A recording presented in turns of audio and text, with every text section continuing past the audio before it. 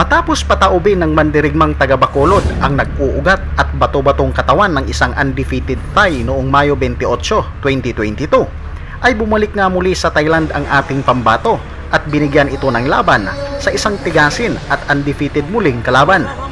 Talagang gustong bumawi ng Thailand mga bay dahil hindi biro ang record ng kanilang pambato ngayon. Ito nga mga bay ay si Sarawot Jamtong, 23 anyos at may malinis na kartadang 6 wins, all by way of knockouts. Ang lupit! Samantalang ang ating kababayan ay si Herlan Gomez at may malinis na kartada din itong 4 wins with 2 knockouts. Ang video na ito mga bay ay hatid sa atin ng 1xBet. Kung mahilig ka sa online talpakan, ay dito ka na sa lehitimong online betting platform, 1xBet. Kung paano mag-register mga bay, ay i-click lang ang registration link na nasa comment section.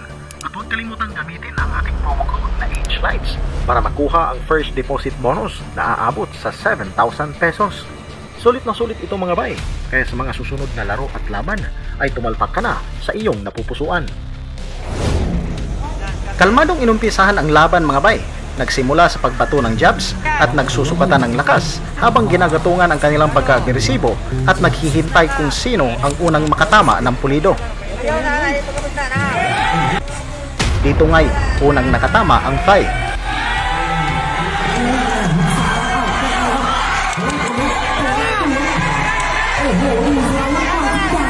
Matapos sayawan ang Pinoy ng kombinasyon, ay bumawi na ito ang kaliwat kanang body shots.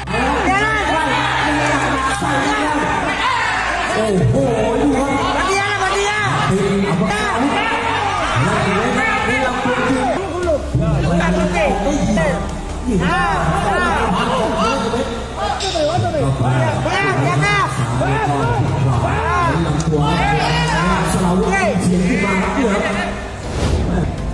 pangalawang round ay inuunahan na ni Gomez ang Thai sapagkat bulusok din itong kalaban kung umatake.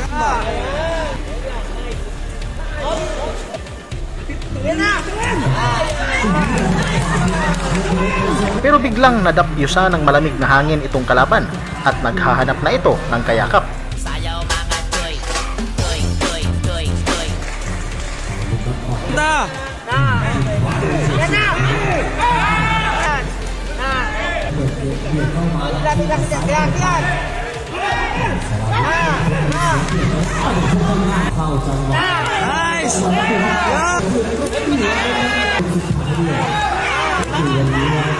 Sayaw mga toy, toy, toy, toy, toy. Yan, oh, hold on, hold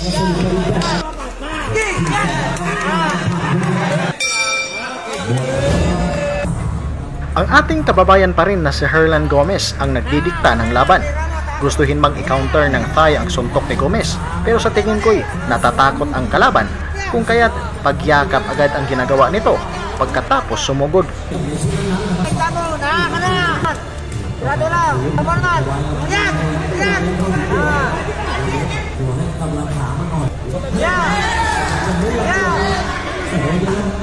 Mauna ka, huwag ka maghintay. Yan!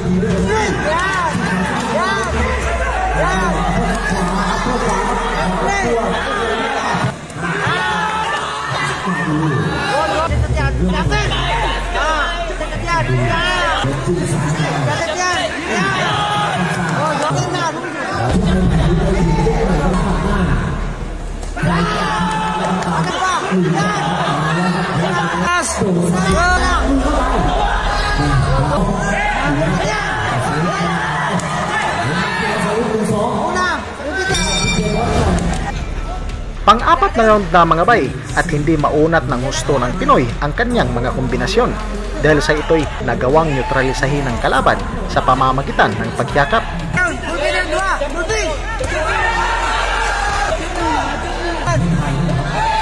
Alan!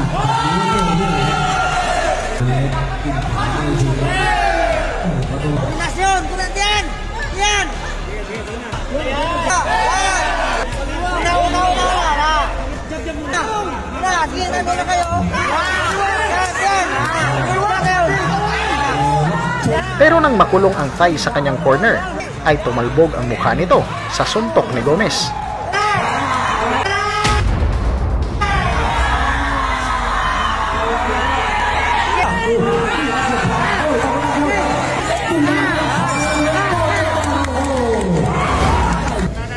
Matibay ang kalaban mga bay kahit pagod na ito pero hindi bumabagsak.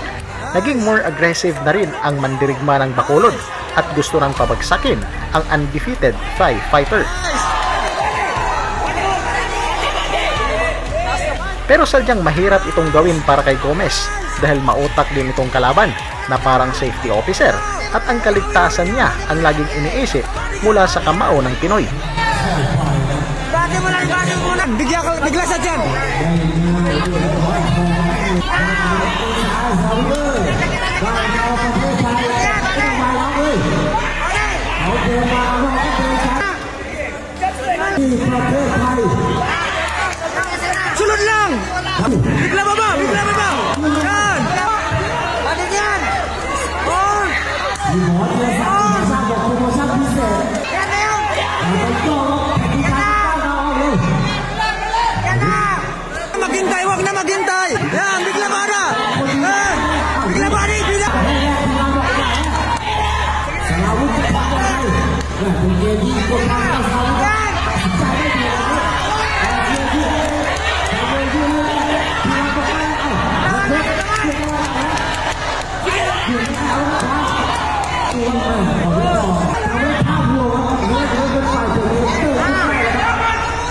Umabot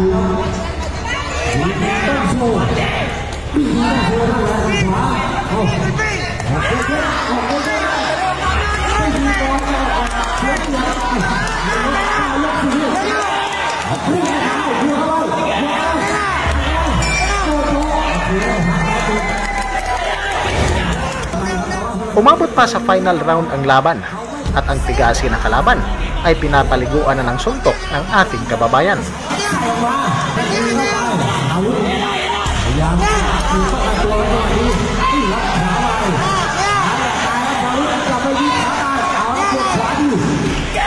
Puro pag-atras na nga lang ang nagagawa nito dahil ang i-counter ang Pinoy ay isa ng negatibo.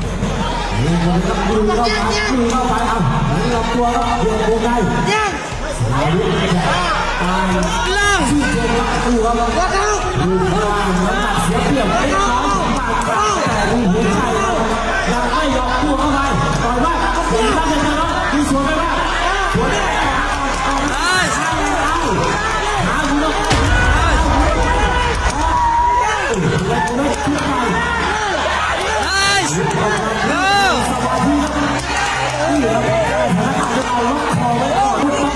Sa puntong ito ay pagod at nahihilo na ang kalaban.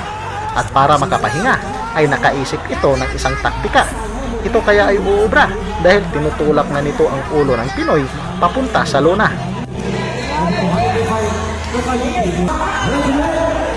na. Yan na, yan na, yan na, yan na, yan na. Yan na. Yan na. Yan na. At sa paulit-ulit nitong pagtulak pababa sa ulo ni Gomez ay pati ang Thai referee ay napuno rin at binawasan ng puntos ang kalaban.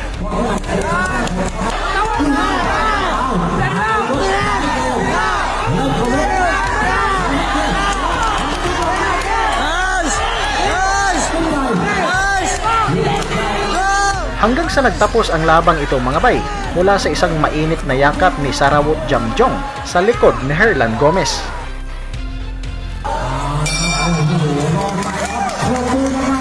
Punta na tayo sa scoring ng mga hurado mga bay. Lahat nga sila ay nagkaisa sa puntos na 59-55 pabor sa ating kababayan. Daghang salamat mga bay at hanggang sa dulo ay hindi pa rin kayo bumibitaw. Nais ko pong malaman ang inyong reaksyon sa ating video. Paki-comment na lang po sa baba at babasahin po natin yan. Daghang salamat, mabuhay tayong lahat.